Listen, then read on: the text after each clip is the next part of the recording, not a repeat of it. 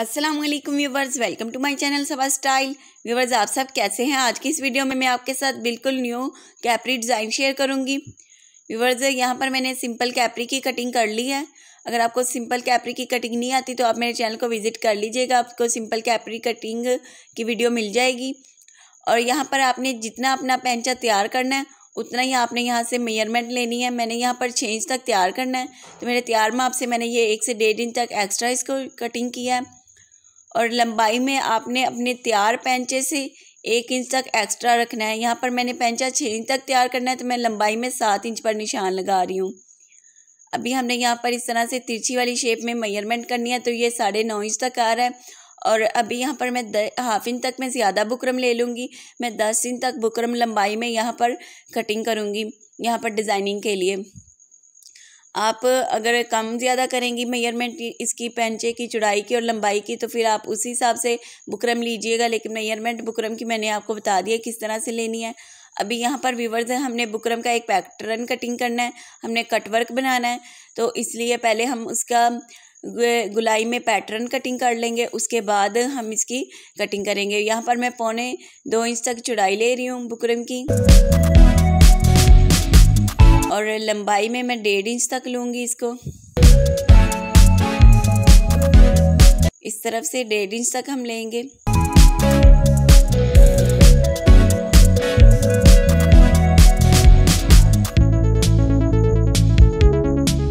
अभी भी वर्ज हम इसको पैटर्न को कटिंग कर लेते हैं। हमने पौने दो इंच तक इसकी चौड़ाई ली है और डेढ़ इंच तक हमने इसकी लंबाई ली है। ये देखें इस तरह से और इस तरफ़ से भी। अभी हम इसको, जो हमारी दो इंच वाली साइड है, इस साइड पर हमने इस तरह फोल्ड करना है। और यहाँ पर डेढ़ इंच तक था तो हाफ़ इंच तक पर हम इस तरह से निशान लगा लेंगे। ऊपर वाला जो एक इंच हमारे पास बच जाएगा, उसके ऊपर हमने इस तरह से गुलाई में निशान लगा लेने हैं। और उसके बाद हम इसकी कटिंग कर लेंगे। इस तरह से। तो ये हमारे पास एक पैटर्न रेडी हो गया हम इसी पैटर्न को रखकर बाकी बुकरम की कटिंग करेंगे।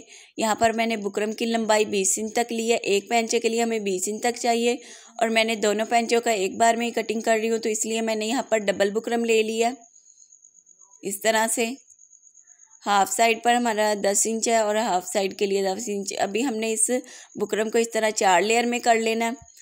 और इसके सेंटर में हमने सिलाई लगा लेनी है ताकि ये हिले नहीं, अपनी जगह पर ये सेट रहे और हम इजीली इसके ऊपर अपने कटवर्क को मार्क कर सकें।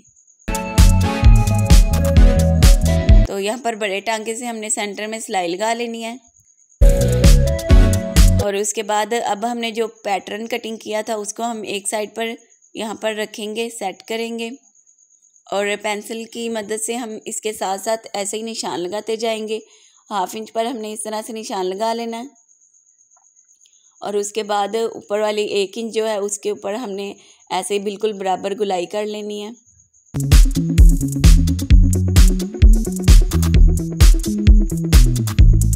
इस तरफ़ भी हाफ़ इंच पर निशान लगा लेंगे।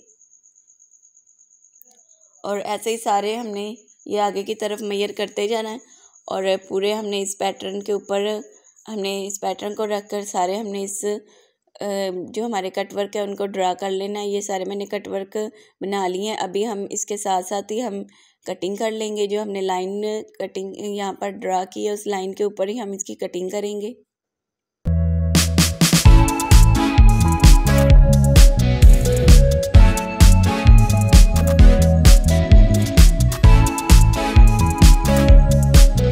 तो यहाँ पर व्यूवर्स हमने कटवर्क कटिंग कर ली है। अभी हम इस सिलाई को निकाल लेंगे।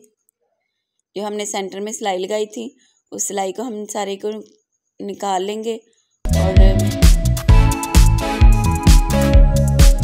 और अभी यहाँ पर हम इसको सेंटर से भी कटिंग कर लेते हैं ताकि दोनों पेंचों का जो बुकरम है वो अलग अलग हो जाए। अब एक बुकरम को हम लेंगे और इसको सेंटर से भी कटिंग कर लेंगे ताकि दोनों पार्ट इसके अलग हो जाएँ।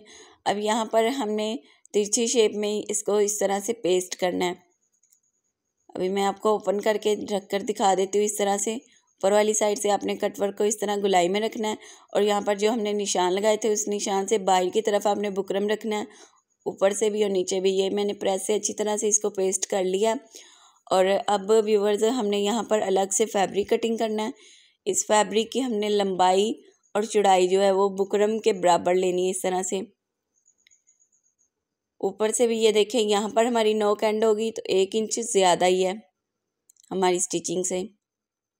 और साइड से आप देख लें, हमारा पूरा बुकरम इसके ऊपर कवर हो गया इस साइड से भी। इस साइड से हमने ये देखे, इस तरह से हमने वी शेप में इस फैब्रिक को कटिंग कर लेना है और इस फैब्रिक को हमने नीचे रखना है। और बुकरम वाला जो हमारा पार्ट है, उसको हमने ऊपर रखना है। इस बुकरम को आपने, अपने कैपरी के ट्राउज़र जिसके ऊपर आप डिज़ाइन बना रहे हैं, आपने उल्टी वाली साइड पर पेस्ट करना है बुकरम को। और यहाँ पर पहले हम सेंटर में सिलाई लगा लेंगे, ताकि जब हम कटवर्क की गुलाई में सिलाई लगाएँ तो फैब्रिक आगे पीछे ना हो। हमारे, इसलिए हम सेंटर में सिलाई लगा लेंगे फैब्रिक के।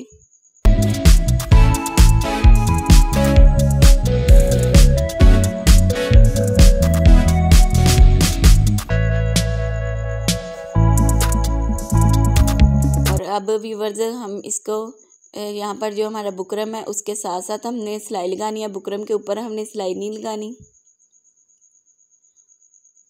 ये आस्ता आस्ता आपने गुलाई में इसकी स्टिचिंग करनी है। नोक से आप निडल को अंदर की तरफ़ कर लीजिएगा और इस तरफ़ घुमा लीजिएगा सिलाई को। फिर इस तरह से राउंड शेप में हमने ये सारी सिलाई लगानी अभी मैंने यहाँ पर वीडियो को फास्ट कर दिया लेकिन आप आस्ता आस्ता सारी स्टिचिंग करिएगा। ताकि आपकी गुलाई अच्छी तरह से आए।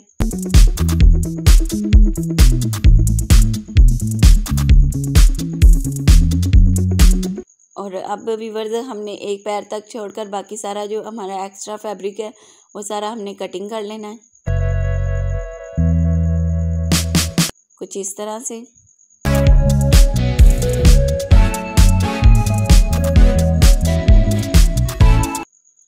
अब हम सेंटर में इस तरह से हल्के हल्के कट भी लगाएँगे, लेकिन आपने सिलाई को कटिंग नहीं होने देना। गुलाई में भी मैं एक एक कट लगा रही हूँ और सेंटर में गुलाई के जो हमारे हैं वहाँ पर भी। अब हम इस सारे फैब्रिक उल्टी वाली साइड पर पलटा लेंगे और पलटाने के बाद विवर्ज हम इसको अच्छी तरह से प्रेस से बिठा लेंगे।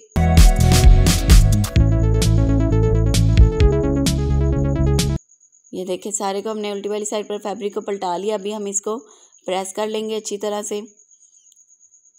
और अब हमने इसके नीचे जो फैब्रिक लगाना है, उसकी हम कटिंग कर लेते हैं। तो यहाँ पर मैंने फैब्रिक की कटिंग जो है, वो लंबाई में दो इंच तक ज़्यादा ली है। दो से ढाई इंच तक मैंने लंबाई में भी ज़्यादा ली है और चौड़ाई में भी मैंने दो से ढाई इंच तक ज़्यादा ली है। आप ये देख लें, मैंने छः इंच तक तैयार करना है, सात इंच तक मेरी कटिंग थी। तो इसको मैंने साढ़े नौ इंच तक चौड़ाई में रखा है, क्योंकि इसके ऊपर हमने पिंटक्स डालने हैं और लंबाई में हमने इसलिए रखा है क्योंकि इसको नीचे वाली साइड से हमने फोल्ड करना है और ऊपर वाली साइड से हमने बुकरम के बराबर रखना है। तो इसलिए आप यहाँ से देख लें। ये हमने हाफ़ इंच तक ये देखें यहाँ से फोल्ड करना है एंड से और इस साइड से हमने पिंटक्स डालने हैं। तो इसलिए मैंने इसकी चौड़ाई भी ज़्यादा ली है, दो से ढाई इंच तक और लंबाई में भी ज़्यादा लिया है और इसको सेंटर से कटिंग कर लिया और यहाँ पर ये एक साइड से कम था चौड़ाई में तो मैंने जोड़ लगा लिया।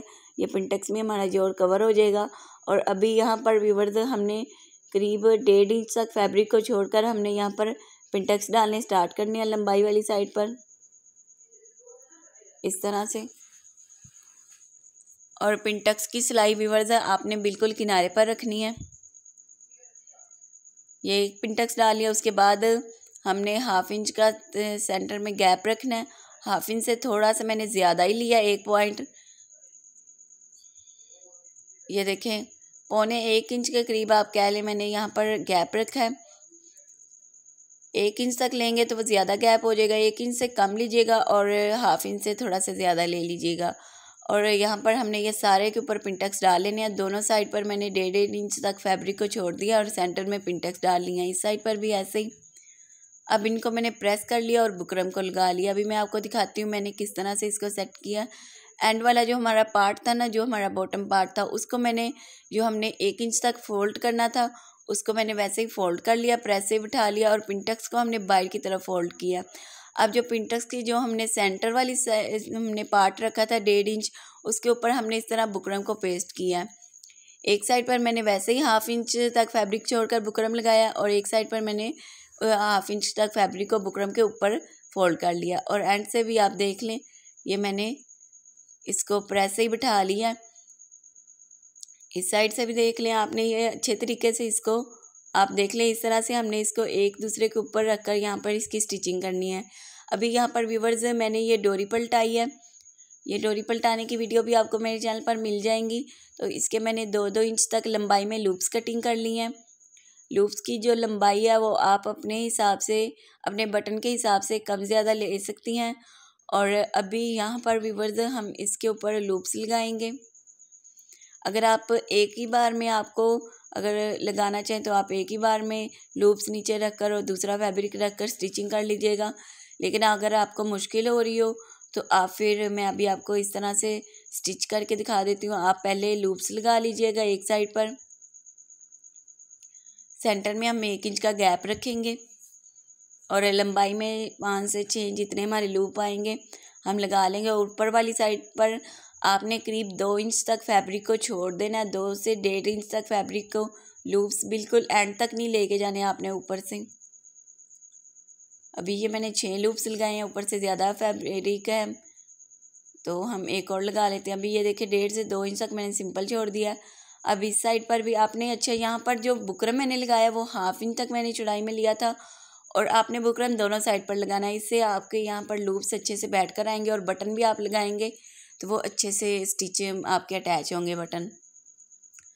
और एंड से यहाँ पर मैं आपको अगर प्रेस से ना फोल्ड करा हो तो आप हाथ से फोल्ड कर लीजिएगा। और यहाँ पर आप चाहें तो तरपाई भी कर सकती हैं, मैंने यहाँ पर सिंपल सी सिलाई लगा ली है। अभी ये हमारा सेंटर वाला पार्ट बिल्कुल तैयार हो गया और अब हमने जो हमारे कैपरी के सेंटर से फैब्रिक कटिंग किया था, उसी फैब्रिक को हम सेंटर में रखेंगे और यहाँ पर हम बिल्कुल आपने इसको सेंटर में रखना है और यहाँ पर आपने निशान लगा लेने हैं। इस तरफ़ भी, इस तरफ़ भी और ऊपर वाली साइड पर भी। अब हमने अपने कटवर को प्रेस कर लिया और अब हमने अपने कटवर को इस तरह से रखना है। जो हमने, और ये फैब्रिक आप उल्टी साइड भी साइड से भी आप कटवर का देख लें। अभी हमने जो निशान लगाए हैं वी शेप में, वैसे ही हमने यहाँ पर इस कटवर को सेट करना है। अगर आपका हाफ़ इंच तक कम ज़्यादा हो तो आप वो देख लीजिएगा। बस आपका ये फैब्रिक अच्छी तरह से बैठ कर आना चाहिए। ज़्यादा भी नहीं आपने इसको ओपन कर देना और ज़्यादा आपने इसको इस तरह से अंदर की तरफ़ कवर भी नहीं करना। इसलिए मैंने निशान लगा लिया चौक की मदद से ताकि ये अच्छी तरह से बैठ कर आए फैब्रिक। अब यहाँ पर हमने इस कटवर्क के साथ साथ एक पैर की हमने सिलाई लगानी है। और जो लूप्स है व्यूवर्स आपने उनको सेंटर में रखना है, ताकि आपके बटन सेंटर में स्टिच हो। ये हाफ़ पैंचा मैंने इस तरह से तैयार कर लिया है। और जब व्यूवर्स आप दूसरी साइड का हाफ़ पेंचा तैयार करेंगे तो तब आप लूप्स का दुख, रुख जो है, वो दूसरी तरफ़ रखिएगा। और इन लूप्स के ऊपर हम सिंपल से बटन मैंने अटैच कर लिए हैं। तो आई होप मेरा ये आज का कैपरी डिज़ाइन आपको ज़रूर पसंद आया होगा। आप ट्रोज़र पर पहुँचे पर, सलवार पर इस कैपरी डिज़ाइन को तैयार कर सकती हैं।